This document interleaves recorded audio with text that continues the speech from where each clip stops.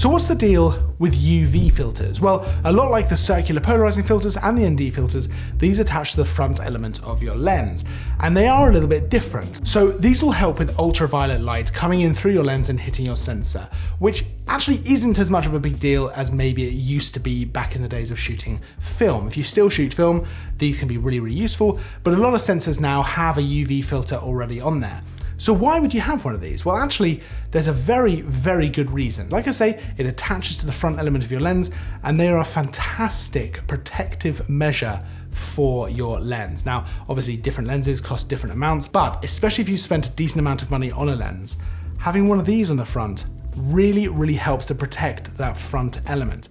And it is a lot easier and a lot cheaper to replace one of these than to replace a lens. Now it's easy to think nothing's ever gonna happen, you're gonna take really good care of that lens. But let's think about just cleaning, for example. It's much easier to take this off the lens and give this a clean than it is to clean that front element. When you're cleaning, every now and then you could move dust around and actually scratch something.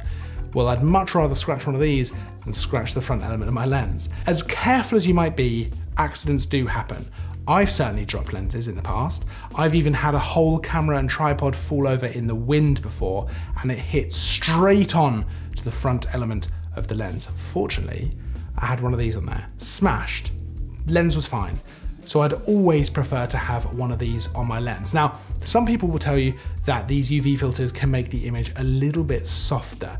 And that can be true depending on what kind of one you go for. You wouldn't want to spend a thousand pounds on a lens and 10 pounds on a UV filter to stick in front of it because of course you are going to be shooting through the glass on here.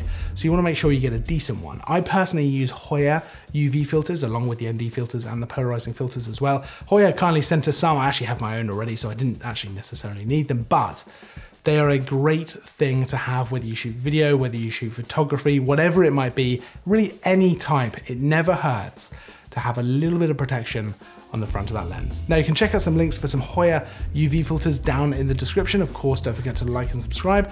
But until next time, as always, thanks for watching.